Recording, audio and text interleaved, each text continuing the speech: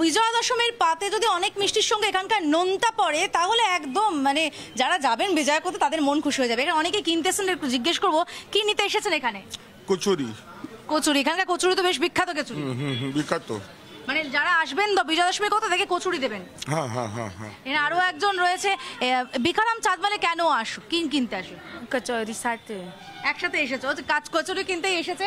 এখানে আরও অনেকেই রয়েছে একটু কথা বলতে চাইবে একটু কথা বলে যাবে ম্যাডাম? কি কিনতে এসেছেন এখানে? মিষ্টি। মিষ্টি কই- কি মিষ্টি নিতে এসেছেন? গোলাপ জামুন। গোলাপ জামুন মানে এখানকার গোলাপ জামুন বেশি পছন্দ? ভালো লাগে। ভালো লাগে। আর ভিকারাম চাঁদমালের তো নোনতা খুব প্রসিদ্ধ সেই নোনতা কিনবেন না?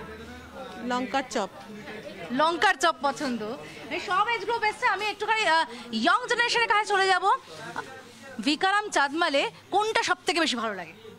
আমরা না একদম ছোট্টর থেকে এই দোকানের খাচ্ছি, মোটামুটি সব কিছু and gulab jamun is one of the famous thing তাহলে ছোট থেকে ভিকারাম চাঁদমালে ওনারা খাচ্ছেন এবং সব কিছু ভালো লাগে, এখানকার মিষ্টি ভালো লাগে, নোনতা ভালো লাগে এবং সেই কারণেই প্রতি বছর বিজয়া দশমীতে এখানে প্রচুর মানুষ আসেন ঘরে মিষ্টি।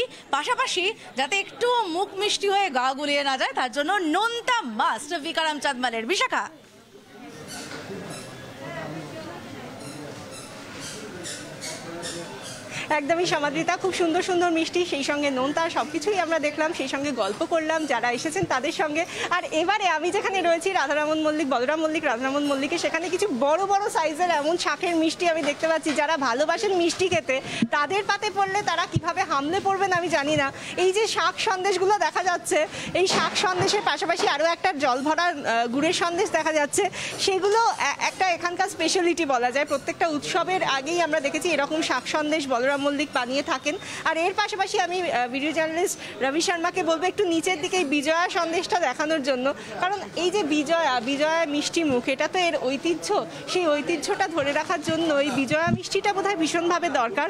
এবং সেই একটা বিজয়ার মিষ্টি, যিনি ভালোবাসেন মিষ্টি বা না ভালোবাসেন যারা ভালোবাসেন না, সবার ক্ষেত্রেই এই মিষ্টিটা যদি পড়ে বোধহয় আক্ষরিক অর্থে পারফেক্ট বিজয়া হয়ে যায়। আর সেই জন্যই এরা এই বিজয়া মিষ্টি বানিয়ে ফেলেছেন এবং স্বাদ স্বাদ স্বাদের কথা কি আর বলব? আমরা সবাই জানি যে কলকাতার অন্যতম সেরা মিষ্টির দোকান, মিষ্টি বিপণী, এই বলরাম মল্লিক, রাধারমন মল্লিক, সে যে কোনো ব্রাঞ্চেই হোক না কেন, কিন্তু একদম যেটা এখানকার উৎস, অর্থাৎ বলরাম মল্লিকের যেটা অরিজিন আমরা সেই দোকানেই রয়েছি, অর্থাৎ ভবানীপুরের বলরাম মল্লিক। সেখান থেকে আজকে আমরা দেখতে পাচ্ছি প্রচুর মানুষ তারা এই ঐতিহ্য মেনে তাদের মিষ্টির ঐতিহ্য, মিষ্টি কথা, মিষ্টি সুন্দর কিছু ভাবনা সব কিছুকে সামনে রেখে এই বলরাম মল্লিকে তারা এসেছেন। তারা এসে এখানকার যা যা এখানকার স্পেশালিটি সব দিকে তারা ঝাঁপিয়ে পড়েছেন যে কখন তারা নিজেদের বাড়িতে নিয়ে গিয়ে একসঙ্গে মিষ্টিমুখ করবেন সবার সঙ্গে। এবং সবার সঙ্গে আপনারাও খুব ভালো মতো সময় কাটান। সবাইকে শুভ দশমী এবং শুভ বিজয়ের আন্তরিক প্রীতি ও শুভেচ্ছা। সঙ্গে রাখুন রিপাবলিক বাংলা। এখানেই শেষ করছি। পাবলিক খাচ্ছেটা কি?